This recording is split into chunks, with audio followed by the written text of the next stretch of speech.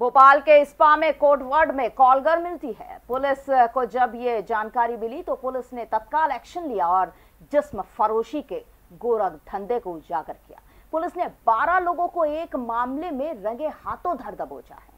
बाग सेवनिया इलाके में crime branch ने शाइन स्पा सेंटर पर छापा मारा, जहाँ देह व्यापार में लिप्त सात युवतियों और पाँच ग्राहकों को रंगे हाथों गिरफ़्तार कर लिया गया। इसमें स्पा सेंटर की संचालिका भी हैं। यहाँ ग्राहकों को एक कोड हैप्पी एंडिंग बताना पड़ता है। इसके बाद उसे कॉल कर मिलती थी। इस स्पा सेंटर के संबंध में भोपाल के अलावा नागपुर, नासिक, मुंबई, जलगांव और इंदौर के कई स्पा सेंटरों से हैं। वहाँ से कॉल गर्ल भोपाल के अलावा अन्य स्थानों पर भेजी जाती थी फ़िलहाल। पुलिस इस रैकेट से जुड़े और भी अहम जानकारियाँ जुटा रही है। पुलिस के पास शहर के 30-40 इस्पात सेंटर में अनैतिक गतिविधियाँ चलने की सूचना मिली है। इस्पात सेंटर में फिल्मी स्टाइल में लड़कियाँ उपलब्ध कराई जा रही हैं। सामान्य ग्राहक को लड़कियाँ स्पा करके भेज देती थी। यदि ग्राहक हैप्पी एंडिंग स्पा की डिमांड करता तो उसे देह व्यापार में लिप्त लड़कियों को उपलब्ध करवाया जाता था।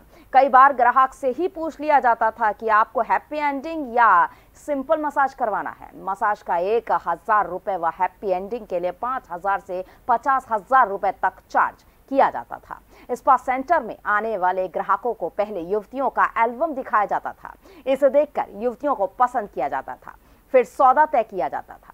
साथ ही नियमित और प्रीमियम ग्राहकों को व्हाट्सएप ग्रुप में जोड़कर लड़कियों के फ़ोटो दिखाए जाते थे। एमपी नगर के एक फ्लैट में देह व्यापार का कारोबार की जानकारी पुलिस को लगी तो वहाँ भी छापेमार कार्रवाई की गई। फ्लैट के बाहर महिला उत्थान का बोर्ड लगा था। क्राइम ब्रांच ने अपने आदमी को भेजकर जाल बिछाया और दो महिलाओं को मौके से गिरफ़्तार कर लिया। देह व्यापार की भी शिकायतें मिल रही थी। कुछ स्पा में जो है कुछ लड़कियों और महिलाओं को बुलाकर देह व्यापार का काम किया जाता है। उस पर एक स्पा में छापा मारा है।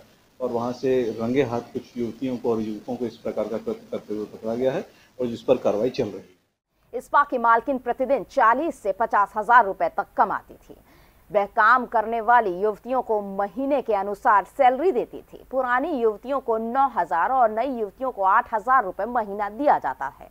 युवतियों को ग्राहक से कमीशन भी मिलता था। शहर के इस्पा सेंटरों में युवतियों की अदला बदली का काम भी शुरू हो गया है। ग्राहक दूसरे स्पा सेंटरों में युवतियाँ बुलाते हैं। यहाँ की युवतियाँ भी दूसरी जगह पर भेजी जाती हैं।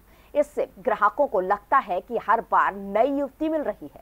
भोपाल क्राइम ब्रांच ने नशे के सौदागरों के खिलाफ बड़ी कार्रवाई की जिसमें आरोपियों से एमडी चरस और गांजे समेत कई मादक पदार्थ बरामद किए गए। संगीत की स्वर लहरियों से सांस्कृतिक ताने बाने तक चंबल के पीड़ों से नक्सलवादियों के गढ़ तक। झोपड़ी से महलों तक ठेलों से मेलों तक पगडंडियों से सड़कों तक गाँव से शहरों तक व्यापार से उद्योगों तक। राजनीति से कूटनीति तक। दखन न्यूज़। आपके हक